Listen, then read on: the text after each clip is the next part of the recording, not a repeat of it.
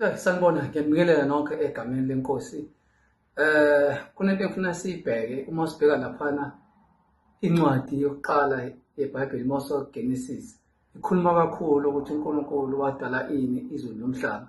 Kwathi uNkulunkulu esedale yonke into emhlabeni wabona konke akudalile ukuthi kunjani kuhle. Kuthi mawubheka laphana ku Genesis 1 verse 26 uthi uNkulunkulu wathi masenze abantu ngomfanekiso wethu manje basifuze abantu. So uma sibheka emhlabeni wonke as much as uNkulunkulu eshilo ukuthi masidala abantu ngomfanekiso wethu basifuze.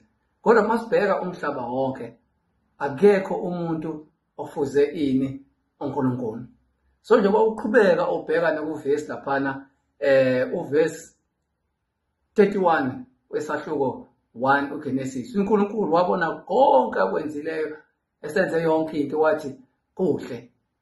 Kuthe sengena isono kusahluko 3 kaGenesis umuntu esenzile ukona.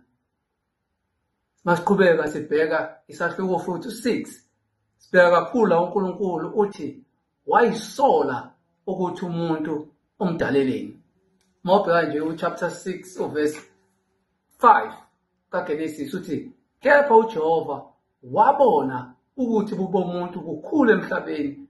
Wayesazisola ukuthi umdaleleni umuntu. Lo muntu uJehova emdalile ukuthi amfuze kangasena umuntu ayifana nasekuqaleni ayimdalile ukuthi lo muntu uzosifuza. Ngoba kasegcwele ini ububi nobudlwangudlwanga emhlabeni.